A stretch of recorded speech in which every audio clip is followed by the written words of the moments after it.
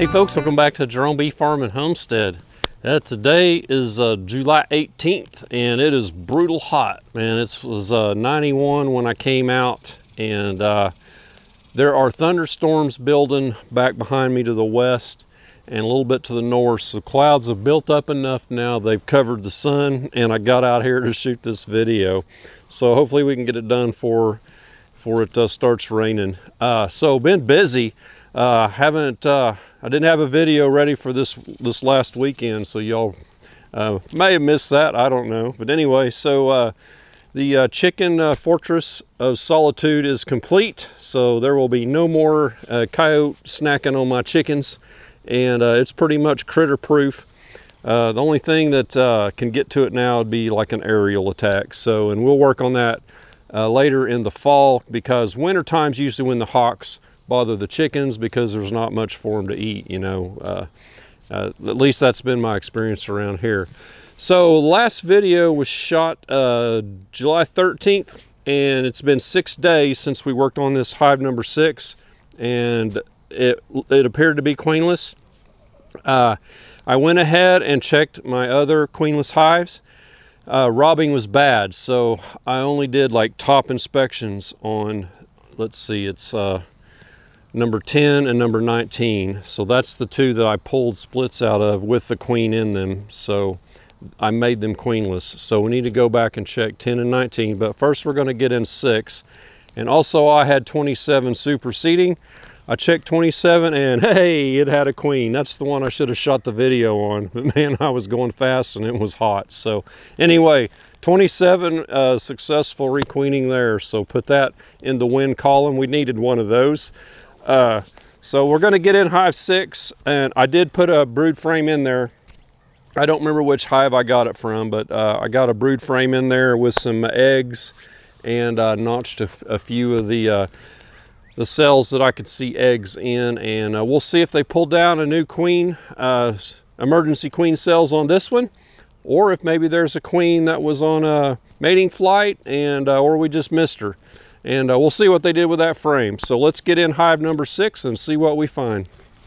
I was just noticing walking down here, so that's a uh, hives five, six, seven, eight right there. I just noticed that my four by fours are warping there, so I need to get me another couple cinder blocks and put in the middle there, get them leveled back up. Okay, what do y'all think we're gonna find this time? hopefully we'll find a queen in here. That'd be great. Uh, next best thing would be if uh, we got queen cells again. These bees here are probably going, not again. Leave us alone. There's the one lone hive beetle. Whoa. Actually, there's a couple. B grabbed that hive beetle and grabbed it and rolled off the, off the lid with it. So that's some good hive beetle hygienics. Okay, man, I'm having tripod malfunctions. It's got so much propolis on it, I can't slide it up and down. Gonna have to clean it off of there. So I don't expect to see anything out here on the first frame. A little bit of shiny nectar in there not much. Nectar flow has uh, pretty much ended, uh, I'm pretty sure. Because the last video, uh, after the video, I did a few more inspections and uh, it was bad. The robbing was bad. Setting a frame out like that uh, with a little bit of nectar in it, they just went crazy. That's uh, got some pollen and bee bread in there. So this hive keeps getting uh, more bees one frame at a time each time I put in a frame with uh, brood and eggs in it. Just uh, kind of keeping an eye out for a queen. I need to uh, I need to get some wax on this. Let me do that real quick.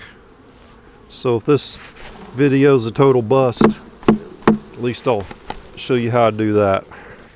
Okay, so here's this frame so there's no wax on this plastic foundation right here. So it comes pre-waxed from Mann Lakes where I get it and uh, it's RiteCell. works good. Uh, when you put it in an nectar flow, they'll draw it right out.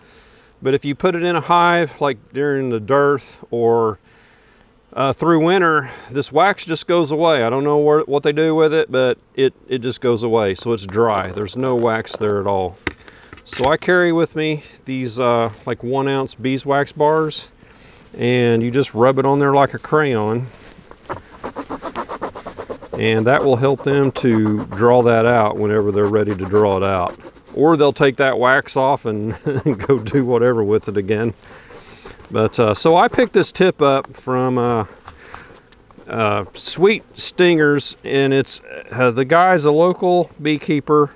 Uh, he uh, he knows Uncle Oklahoma beekeeping very well and for for the central part of the United States that latitude.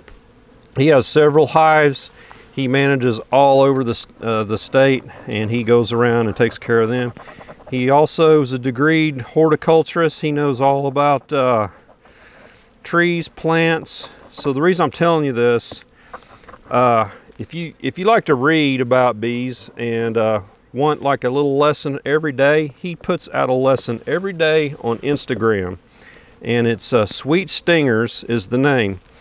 And I picked up this tip from him. I picked up some other little tidbits of knowledge. You know, I've been keeping bees for, was nine years now? And uh, he mentioned something the other day. I was like, oh, that's a good idea. So he also does education for uh, little kids. They come out and he gets them all in bee suits and they takes them through the hives. Uh, so check him out on Instagram, Sweet Stingers, and he also has a YouTube channel. Okay, let's get on through here. But yeah, that uh, daily lesson from Justin on Sweet Stingers, I read that every day on Instagram. It's pretty neat. He has uh, like a what's blooming once a week, shows you what's blooming, talks about it in depth, you know, like you're watching a horticulture channel or, or reading about one. Okay, pollen. Pollen, bee bread. Let's see. This next frame is the one I put in. So I got there marked, uh, notched July 12th. I Thought it was the 13th. I get my days mixed up. All right, what are we gonna find? What's it gonna be? Yes or no? Uh, I don't see where they pulled them down. Right there's where I notched it, and right there.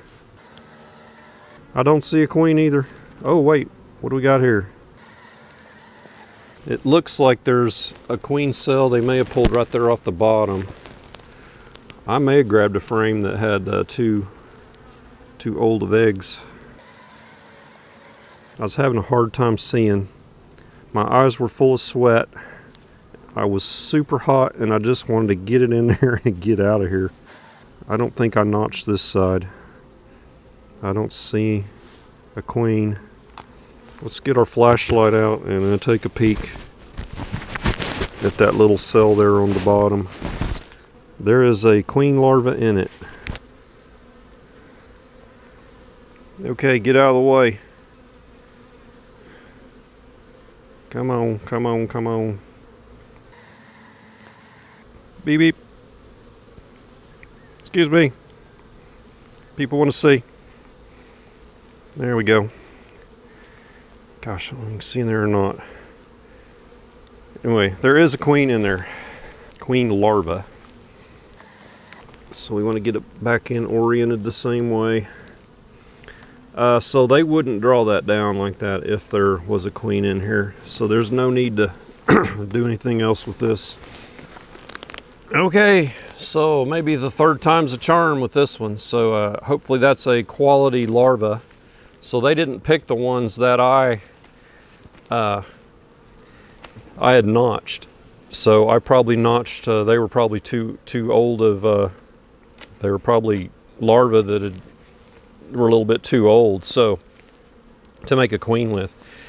Uh, so the good thing about this, it's not going to go laying worker, We've got two wildflower meadow banked queens over there. So uh, if this doesn't take, that's what we'll do. One of those will come in here. Uh, unless we have more hives go queenless, which I don't anticipate that happening. Uh, but we do have uh, the two that, that, in addition to this, that we are working on. So let's get over to uh, number 10 over here and see if we can find uh, our queen in there. Okay, hive 10. So last time I went through it, uh, robbing was so bad, I just checked the top box. We'll see how it goes today. This is a little stronger colony, so I'm gonna use a little bit of smoke. So we'll just get these outside frames out of the way here. Won't expect to see a queen out here. So uh, this is uh, honey frame. Man, I really would like to see a queen in here. So basically a honey frame, nectar right in here. This is all capped honey out here. And this side's the same. Wouldn't expect to see a queen on this here. She's going to be uh, closer uh, in this area here where there's not a lot of food resources. She's going to be where she can lay eggs. And this is a lot of pollen and bee bread here. Same here. So usually when you see a frame like this with all this uh, pollen and bee bread right next to it's where you'll start seeing your brood, your, your queen's going to be hanging out. But with this hive that's been queenless for a little while, there's no telling now this this frame looks uh, pretty much identical to the prior one. Lots of nectar, nectar here, capped honey, and uh, pollen and bee bread in this area. Same thing on this side. Right here's here's where we want to see one. Let's go. Come on, queen. Yeah, it's too heavy. There's a lot of honey on here. Yeah, same deal. Okay, at some point we're going to want to get uh, brood frame in here because we don't want them to be without brood for more than a couple weeks because uh, they will go laying worker on us. That's a bad thing. A lot of bees in the bottom, so there's a lot of food up top, so the brood chamber may be down below. And that's all honey. These next frames are pretty much empty. So we'll put this back together. Looks like the bees are going to cooperate with me as far as uh, not doing a bunch of robbing and I'm going to be able to get down the bottom.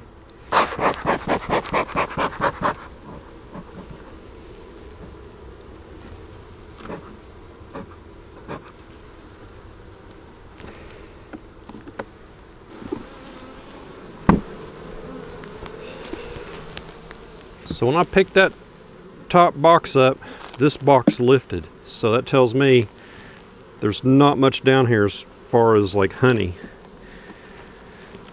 No weight to the bottom. Bunch of pollen there.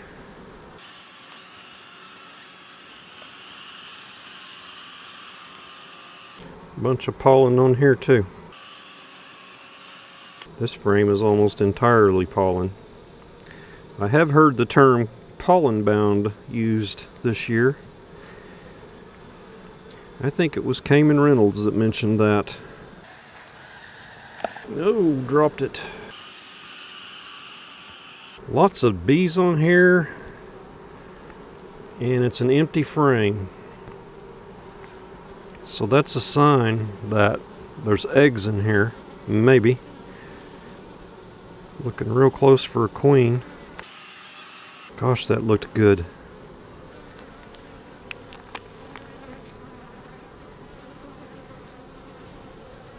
I do see royal jelly in the bottom of these.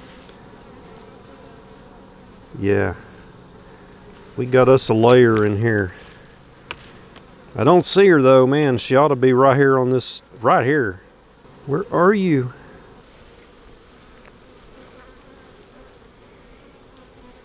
See if I can get you a shot of this.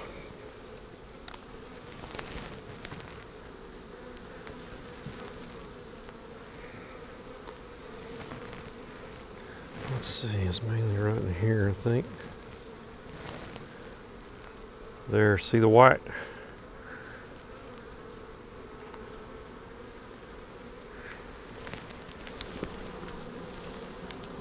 Oh, good grief.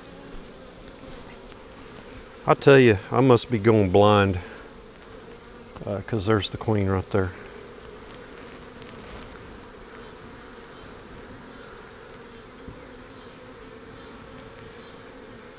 She's uh, got her track shoes on. So she, yeah, looked like a nice mated queen there. Good sized. So we will get out of here and leave her be.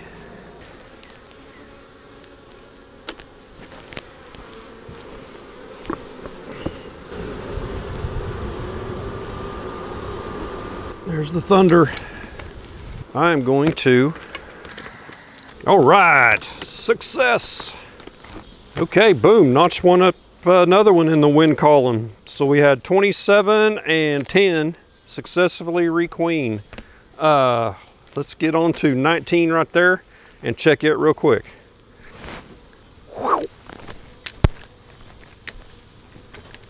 Okay, number 19, this is the second hive that I pulled the late season split on. I called it the last chance split.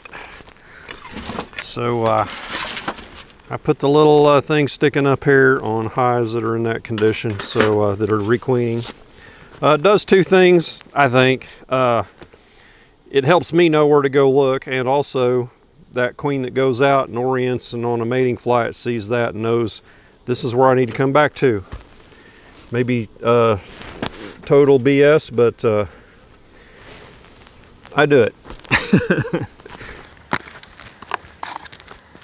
wow, this hive uh, does not weigh much at all. They need some help resource wise. Uh, so we got our fall flow coming into September, October time frame. Do have a frame feeder in here. I, I had been feeding them, but uh, it's it's empty right now. So I pulled the split on this hive the same day I did uh, number 10. Pulled their queen out, made a split. This hive remained queenless. And uh, I notched uh, several frames or several I put several notches in a frame with eggs I got a couple of them marked here right here and right here so it could have been either one of these. I may have done it twice. I think I did it I have done it twice maybe. Actually no I, I have not done it twice I've done it once. One of these is probably an old marking. This will be uh, nectar yeah just like the last frame I pulled out. This one's nectar and a little bit of pollen, which some of that nectar is going to be 50-50 uh, syrup that I've been feeding them. I'd only feed my hives that need it. Someone left a comment one day that I was creating a bunch of lazy bees. uh, boy, it's really getting dark.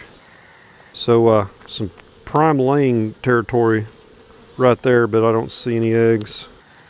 And we've got nectar here and a lot of pollen. Boy, at the rate I'm spotting those queens, I need to start looking a lot harder. It's a little bit of capped brood here. I believe that's left from before because there's nothing else around it. So that's some of the last uh, brood that the original queen laid. Same thing on this side. Uh, it's mostly emerged here, but there's a little left on the outside ring where she starts laying in the middle and works her way out. So the the youngest eggs are on the outside, and that's what's left. And that's a nice spot for a queen to lay. So you notice on that last hive, the frame that I eventually found the queen on, they had it covered and that frame didn't weigh anything so I knew there's a reason all those bees were on that lightweight frame they're covering those eggs and feeding them and getting ready for that to uh, merge into a larva and they take care of that. So that's why all those nurse bees were on there. So that's a that's a good sign if you grab a lightweight frame and it's covered with bees. And they look like they're there for a purpose. See these bees kind of got it covered but they all got their heads stuck in there and these are all cells full of pollen and nectar so you know not going to be a queen laying on there. Not much going on there on that frame. It's mostly empty. A little bit of nectar. Oh, would you shut up and go away?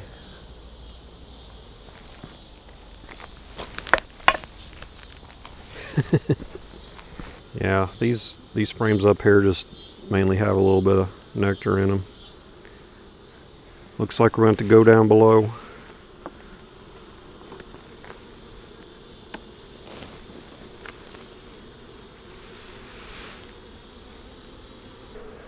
Okay, yeah, so this one didn't look that good. I didn't see uh, any signs of any, any queen activity in there at all. So uh, we'll give it another week and uh, we'll probably make the call next weekend, which that's going to be tough because next weekend I'm going to be pulling honey.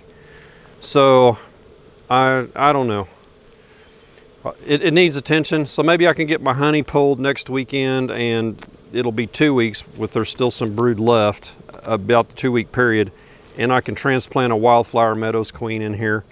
Maybe I can do get that done in the middle of next week. So uh, getting in towards the end of July. But uh, yeah, so we've got two hives uh, still needing attention and we've got two banked queens. So hey, that's the best I've ever done going into the fall. Uh, which that's a little ways off yet, so I'm not going to count my queens before they hatch. but anyway, so yeah, not, not, much more to say about that. So I guess that's the end of the video. Uh, give me a thumbs up and be sure and subscribe on your way out and check out Sweet Stingers. So uh, we'll catch you on the next beekeeping video. Y'all take care.